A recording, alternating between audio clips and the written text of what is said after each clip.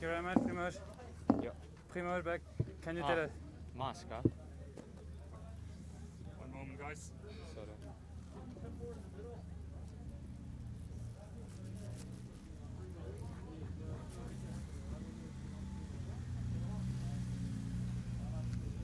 Just a second. Primoz, can you tell Yes. us what did happen? Two crashes?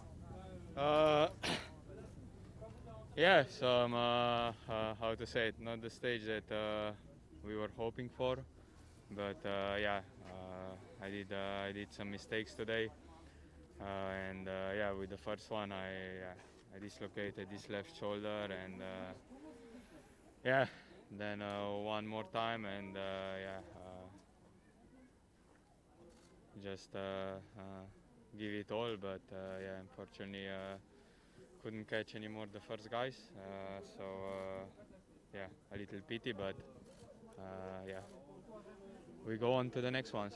Have an incredible bad luck with the with the last days. I mean, last year at the Tour there was the Dauphiné also. La Vuelta was not easy also, even if you want if you won it. But Ah, yeah, but uh, yeah, he's uh, uh, yeah. Let's say it's. Uh, I also won some uh, easier days on the last uh, last days, but uh, yeah, it's uh, also the sport itself, and uh, yeah, uh, like I said, uh, uh, we we will come back, and uh, yeah, we will fight for with the new races. what were you thinking when you were there alone chasing? You were thinking it's going away.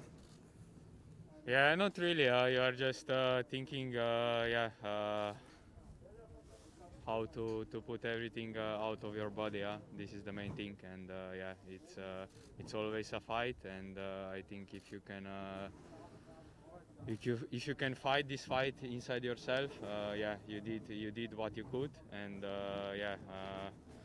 I was I was really going over myself, and yeah, at the end, yeah, it was how it was. So not not much uh, to add it. Of course, we are disappointed, but uh, yeah, like I said, the world uh, will not stop, and uh, we have to look forward.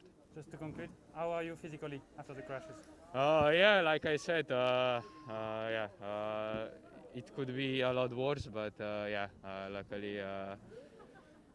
Let's say uh, I'm, I'm, uh, I'm, I will be fine probably in, in a couple of days or in a week. uh, So uh, yeah, uh, first I need to take some rest and then uh, hopefully I'm ready for, for the next races. Thank you very much. Thanks. Thank you.